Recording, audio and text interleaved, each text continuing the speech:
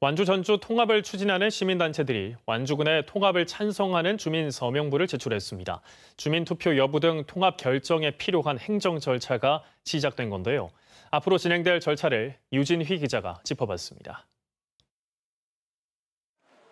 시민단체들이 완주 전주 통합 건의 서명부를 완주군에 전달합니다. 이 단체들은 지역 발전을 위해 시군 통합이 꼭 필요하고 앞으로는 정치권과 전북 자치도 등이 앞장서야 한다고 주장합니다.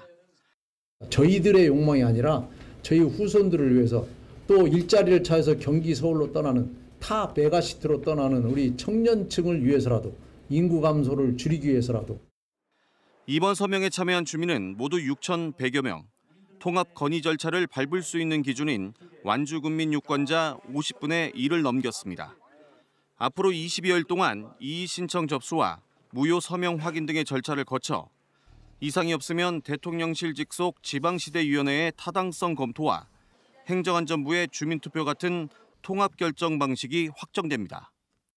서명부가 이제 저희한테 접수됨에 따라 이의 신청 등 검토를 거쳐서 관련 기관의 절차가 좀 이행될 수 있도록 이렇게 할 계획입니다. 2013년 완주군에서 치러진 통합 찬반 주민투표는 제7회 지방선거를 1년 앞둔 시기였습니다. 직전 사례를 비교하면 늦어도 내년 상반기쯤 완주 전주, 전주 완주 통합 결정 방식이 나올 전망입니다.